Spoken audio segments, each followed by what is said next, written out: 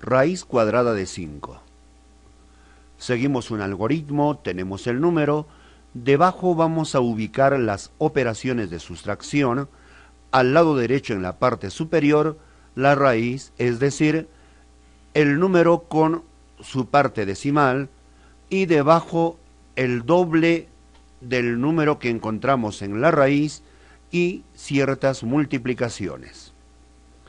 Buscamos un número que multiplicado dos veces nos dé 5 o menor que 5. El número es 2. 2 por 2 es 4. Ubicamos debajo de 5. 5 menos 4 es 1.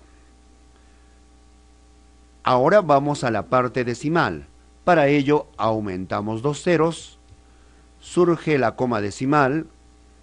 Ahora duplicamos el valor de 2 es decir, el número que está en la raíz sería 4. Acompañamos un número multiplicado por ese número, nos debe dar 100 o menor que 100. La técnica es la siguiente. Anulamos el último número, tendríamos 10 entre 4 es igual a 2 entonces tendríamos 42 por 2 es igual a 84.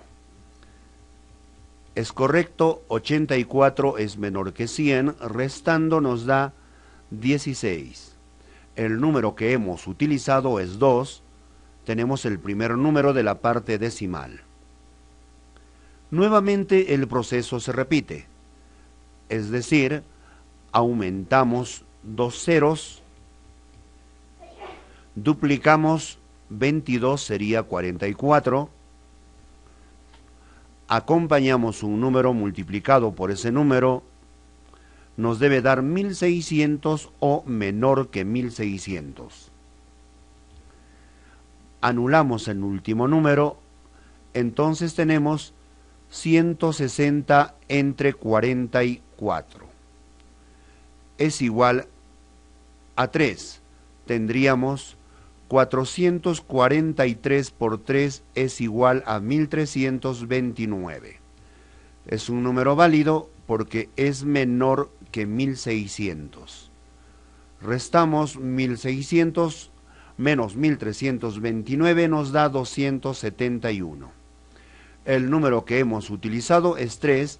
Tenemos otro número en la parte decimal de la raíz. Nuevamente se repite, aumentamos dos ceros, duplicamos 223, sería 446, acompañamos un número multiplicado por ese número,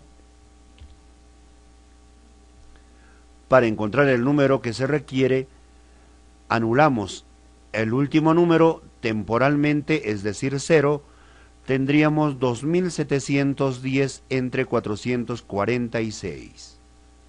Nos da 6. Tendríamos 4.466 por 6 es igual a 26.796.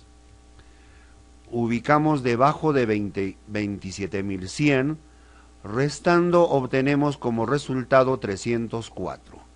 El número utilizado es 6, por tanto 6 es otro decimal de la raíz. Podemos continuar, en este caso nos quedamos ahí, raíz cuadrada de 5 es igual a 2,236 y se va hasta el infinito. Raíz cuadrada de 5 es igual a la siguiente expresión, como pueden observar, no tiene periodo, es decir, no existe un número o más que se repitan de manera ordenada hasta el infinito. Por tanto, raíz cuadrada de 5 es un número irracional.